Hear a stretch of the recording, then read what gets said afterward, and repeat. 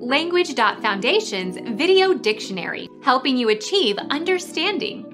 Following our free educational materials, you learn English in a great way with efficiency. Meaning of centipede